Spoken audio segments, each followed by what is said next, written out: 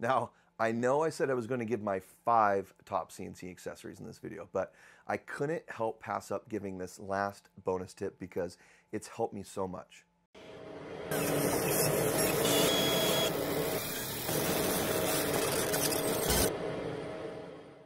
Welcome back to the channel, everyone. I'm Brett, and this is my laser garage.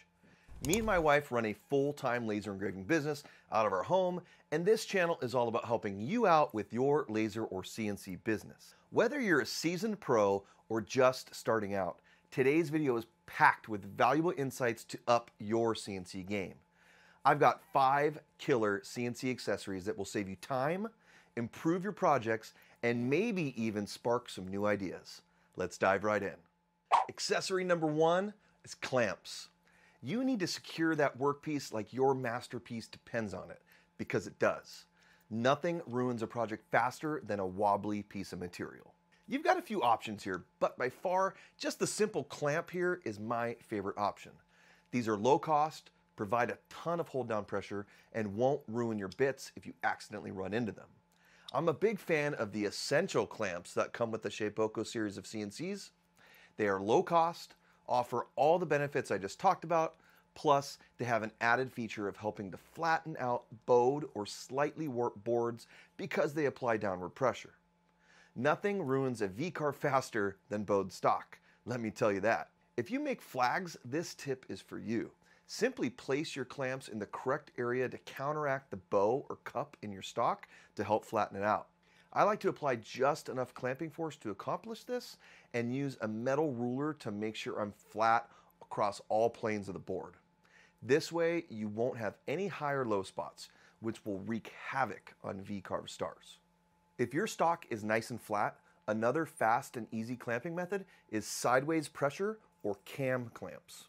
These push your material tightly against a fence or other stop, keeping everything from moving, and are extremely fast to set up. These are my go-to clamps when working with flat material like MDF, simply due to the speed of the setup. One or two of these clamps can take the place of four essential clamps when used in conjunction with the fence setup. I really like these Crush-It clamps sold by Carbide 3D. And one of the best parts about these clamps that I mentioned is this. They won't break the bank. And some options are actually free, which I'll talk about later in this video. Tip number two, upgrade your wasteboard. I love the Shapeoko hybrid style wasteboard. With three inch wide slats sandwiched between T-track, you have a lot of clamping options. But sometimes work holding is just slightly out of reach depending on the size of your stock. This was super frustrating at times. Although it could be overcome with various clamping techniques, the need to simplify clamping in this no man's land of wasteboard was one of the reasons that led me to develop a customized wasteboard option. By adding 120 M5 threaded inserts into the wasteboard slats, I all but eliminated this clamping issue. Plus, if I ever need a one-off clamping situation that this layout doesn't accommodate, I can simply add a custom threaded insert to this design with the wasteboard installed. Additionally, I added 20 millimeter dog holes on the X and Y axis to act as a fence system. This gives me a stopping point to use my sideways pressure clamps I talked about earlier, or a really fast and easy point to reference material, so I don't need to constantly re-zero my X and Y axis zero points. And by holding these dogs about an inch or so off the bottom portion of the wasteboard, I'm still able to apply downward clamping force to the bottom of my workpieces which is really important if you're dealing with slightly bowed material like I talked about in my last tip.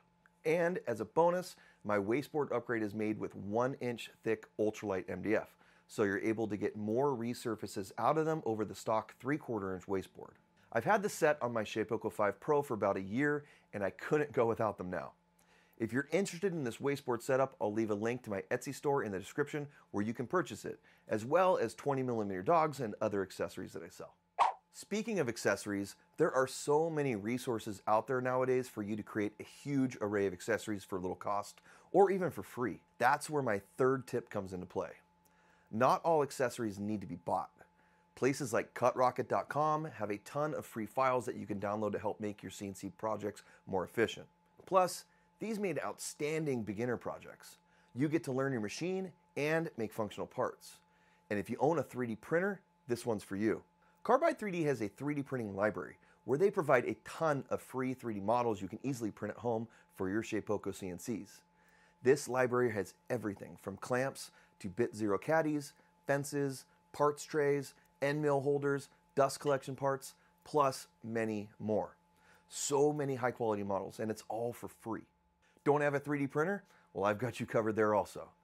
I have many of these items listed for sale on my Etsy page. So if you're interested in upping your CNC organizational or clamping game, go check that out to help support the channel. My fourth top accessory for my Shapeoko 5 Pro CNC is this, custom work trays. As I mentioned before, these are great on multiple levels. First, they help you organize what can quickly become a chaotic amount of small parts and accessories you'll be collecting for your awesome new hobby. But these projects also help you become familiar with your new equipment in a safe way because they are pretty basic parts to machine and often can be made with free or scrap material you have laying around the shop. Plus, when you get more comfortable, you can easily modify existing files or create your own setups to meet your specific needs. That's what I've done here with one of my latest designs. These custom tool trays I designed serve a bunch of different functions and are quickly becoming one of my go-to accessories. Lately, I found it very beneficial to have my most used clamps, end mills, and tools out in the open and ready to use rather than buried away in a drawer. For that reason, I designed these tool trays to hold all of these items, plus they serve another function. The tray on the left of my machine also serves as a fence.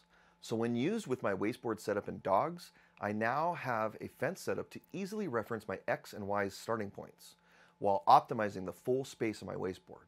I currently use my small and large versions of these trays, but I also designed a mini version as well. These setups efficiently utilize the space on the left and the right side of the CNC, but also still allow the use of the T-Track for clamping options. If you'd like to make these for your Shapeoko 5 Pro, I'll leave a link in the description to purchase the digital file. The file contains everything you need from the design to toolpaths, so they are ready to run. They can also be easily customizable if you have specific items you like to store.